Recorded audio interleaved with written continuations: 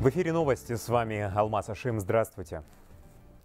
2 сентября президент Казахстана выступит с посланием народу. Об этом Касым Жмартукаев сообщил в своем твиттере. По словам главы государства, будут высказаны поручения парламенту и правительству относительно ужесточения уголовного наказания за наркодилерство, педофилию, сексуальное насилие и другие тяжкие преступления против личности.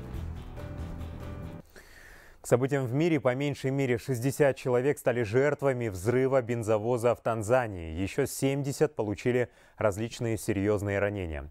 Инцидент произошел на востоке страны в городе Морогоро. Автоцистерна перевернулась, затем последовал мощный хлопок. Очевидцы говорят, сразу после опрокидывания транспортного средства люди пытались собрать топливо. По предварительной версии, причиной взрыва, последовавшего за ним пожара, могла стать сигарета. На месте аварии видели курившего человека.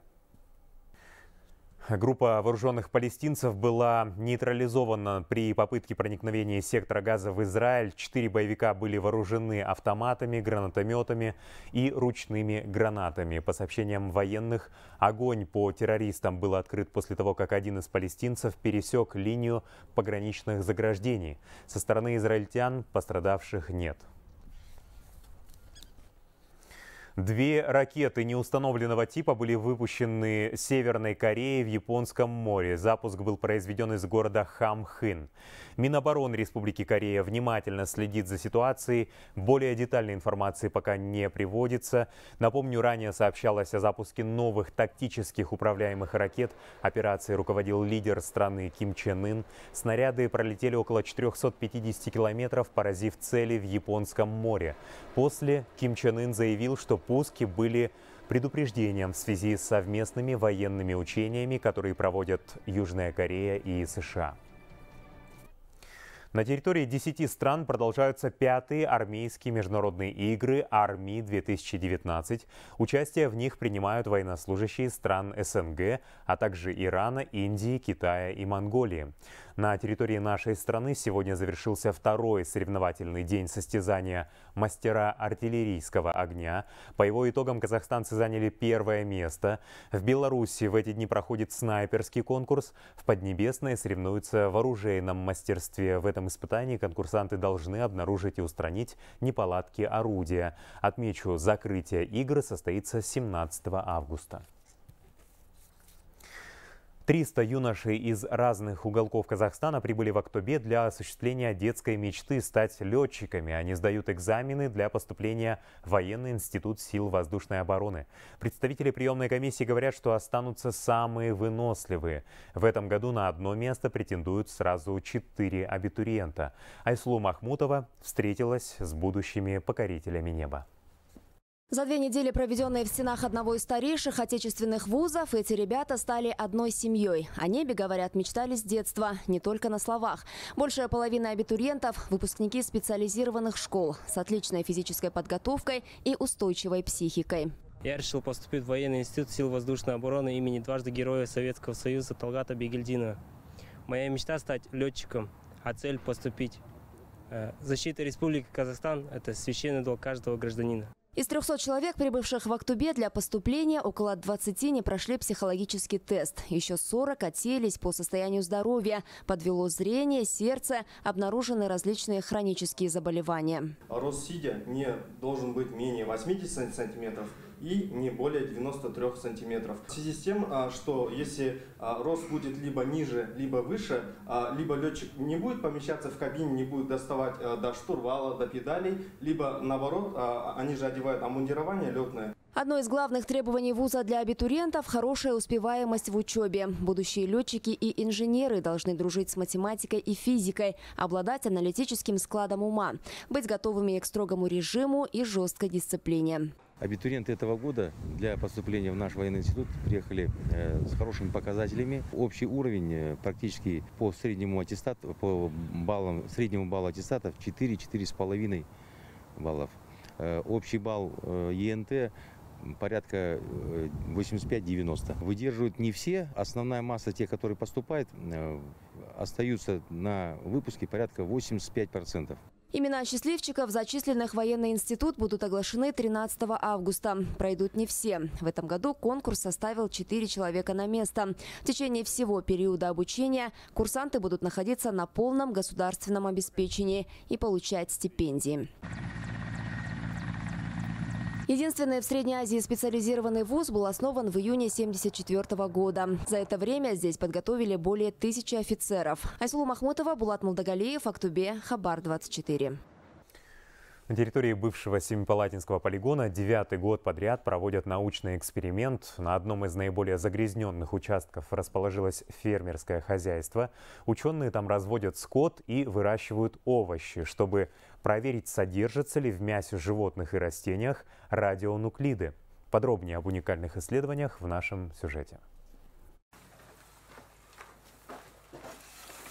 Утро в природной лаборатории начинается, как в обычном фермерском хозяйстве, с кормления животных. У нас в данный момент 8 головы, 9 голов баранов, 9 голов э, коз, э, козы дойные, бараны, получается, на наши местные, степные.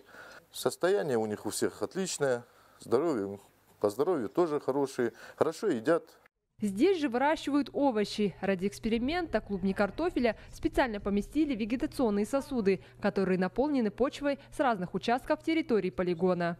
Эти плоды, естественно, они полностью идут на э, пробы лабораторные. Их в пищу не употребляют. За годы исследований, которые мы провели, нам удалось получить уникальные параметры перехода радионуклидов, э, особенно уникальные параметры перехода трансурановых радионуклидов плутония и мерица, которых в мире практически не существует.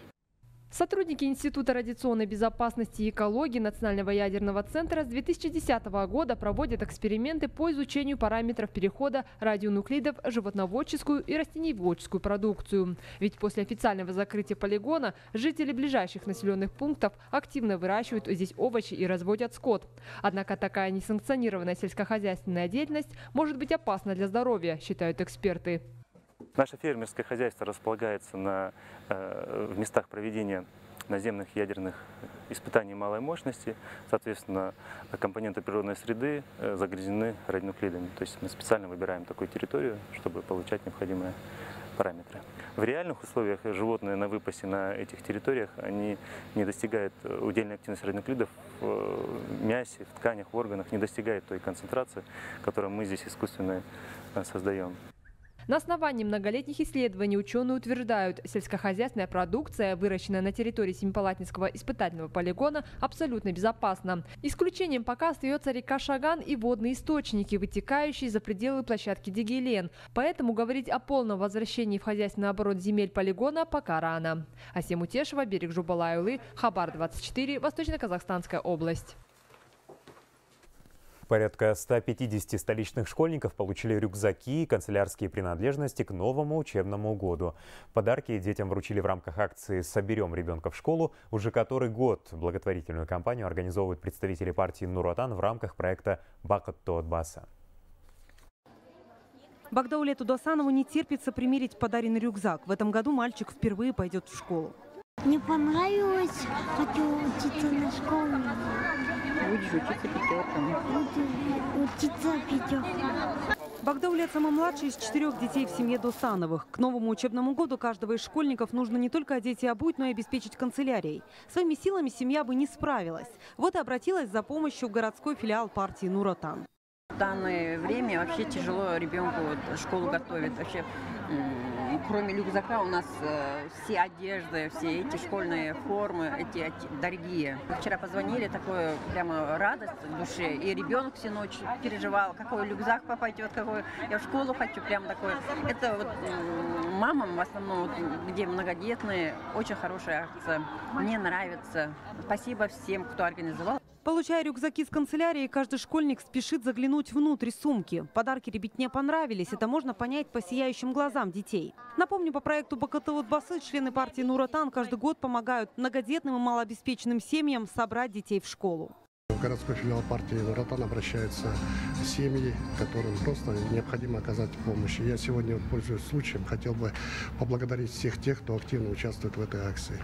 Ежегодно мы вручаем более тысячи школьных принадлежностей, тысяч семей обеспечиваем, э, стараемся максимально помочь вот в этом плане. Поэтому еще раз выражаю благодарность спонсорам. На этот раз рюкзаки, альбомы, карандаши и другие принадлежности для учебы получили порядка 150 столичных школьников. Акция «Соберем ребенка в школу» продлится до конца августа. Ирина Панфилова, Адельгазет Улюмис, Хабар 24. Абай Кунанбаев своим творчеством объединяет все тюркские народы. Работы великого казахского поэта и просветителя переведены более чем на 30 языков мира, включая турецкий. Именем поэта в Стамбуле названы улицы, в его честь также установлен памятник. Школа имени Абая – уникальное место для наших соотечественников Турции. Учебное заведение открывал сам Ельбасы Нурсултан Назарбаев. Сегодня в школе, названной в честь великого казахского поэта и просветителя, обучается свыше 500 учеников. Больше половины из них – это этнические казахи, проживающие в Турции. В школе также есть клуб, где детей обучают национальным казахским танцам. Okulumuz 2003 yılında Kazlı Çeşme Abay Школа имени Абая Кунамбаева была открыта в 2003 году. Почему ей дали имя Абая? Дело в том, что большинство людей, проживающих в Зейтинбурунском микрорайоне Стамбула, казахи. Порядка 40% учеников нашей школы также казахи. Таким образом, мы хотели отдать дань памяти известному всему миру деятелю в сфере образования Абаю Кунамбаеву. Казахи в Турции читают произведения великого мыслителя. Его знаменитые слова назидания становятся для них источником вдохновения. Каждая строчка произведения Абая Кунанбаева и стих наполнены смыслом и даже спустя много лет имеют большое значение для людей. Несмотря на то, что он написал свои произведения очень давно, все его слова до сих пор актуальны. Памятник великому поэту в Турции находится у школы имени Абая. В этом году каменному изваянию исполнилось 16 лет. Монумент планируют отреставрировать и уже в обновленном виде открыть в ближайшие дни. Асель Абдыкалыкова, Мируерт Канагат, Гокальп Ямин, Турция, Хабар 24. Карагандинский академический театр музыкальной комедии готовится к гастролям в столицу. На сцене Большого зала театра Астана-Опера артисты из Караганды впервые представят мюзикл Максима Дунаевского «Алые паруса» и оперетту Имре Кальмана «Баядера». Марина Золотарева расскажет об этом подробнее.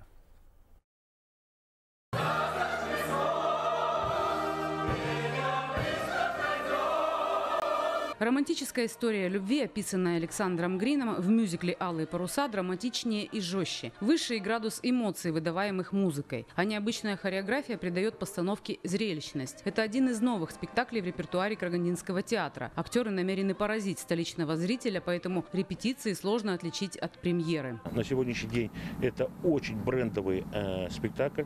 Тем более это одна из лучших постановок, по, по мнению критиков, которые э, приезжали к нам и слушали.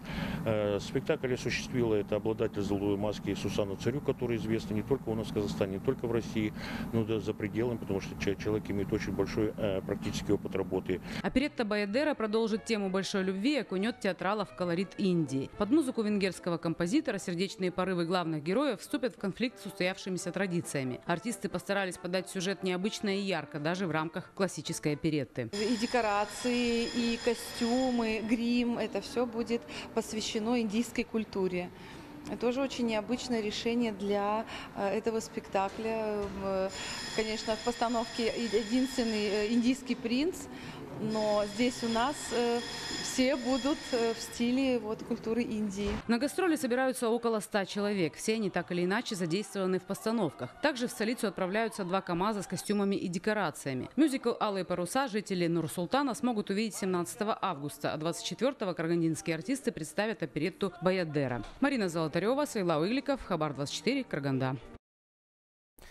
На этом закончим. Оставайтесь с нами. До скорого.